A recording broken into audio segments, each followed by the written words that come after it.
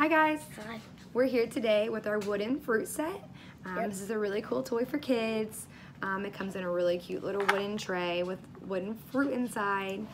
They're all hand painted and they all have Velcro which holds them together, which is really cute. And they all have really good detail. Um, so you can pretend that you are slicing them, which is adorable. Um, so I'm gonna go ahead and give you the wooden knife and I'm gonna describe our fruits here. Um, so these are really good for learning your fruit, um, learning your colors, um, also hand-eye coordination with young children with their, when they're learning, you know, teaching them how to properly slice fruit and really teaches them, you know, the skills needed with your hand-eye coordination. Um, yeah, a really good beginner set for young kids is awesome. Um, like I said, they have the Velcro in them, which is really strong, but enough that you could, you know, pretend Yeah. slice them apart. It, it, and you can take it apart, but it kind of needs a little strength. Correct, it needs a little strength to pull it apart.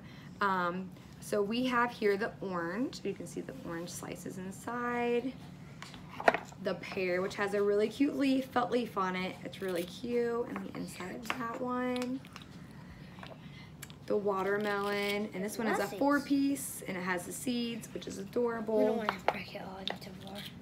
We have the apple, which has seeds in it. Really cute. The lemon, really cute as well. And lastly, we have our banana, which is really cute.